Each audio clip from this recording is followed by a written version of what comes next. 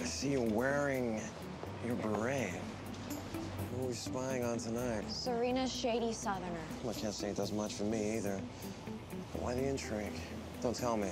Not enough drama and domestic bliss with Nate? You know, when people step outside their relationship for a thrill, it's usually not alone and in the dark. I happen to be worried about my best friend. Serena said Gabriel just disappears. Poof. Well, I'm gonna find out where he's poofing to.